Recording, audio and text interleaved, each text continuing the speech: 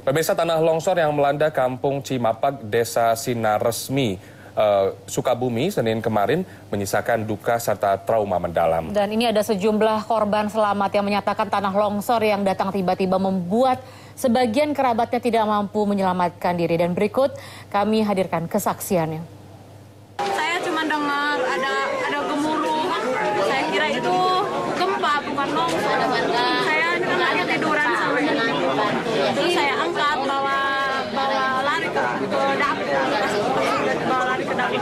Langsung limpa.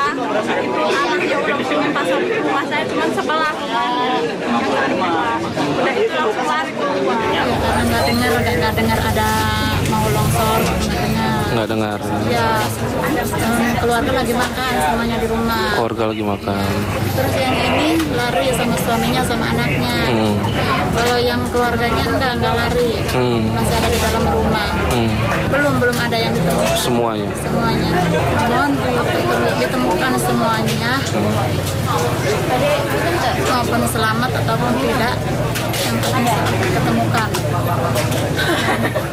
Dari pemerintah Ya, lihat dan juga pemirsa selain banjir, tanah longsor adalah bencana yang paling berpotensi terjadi di Jawa Barat.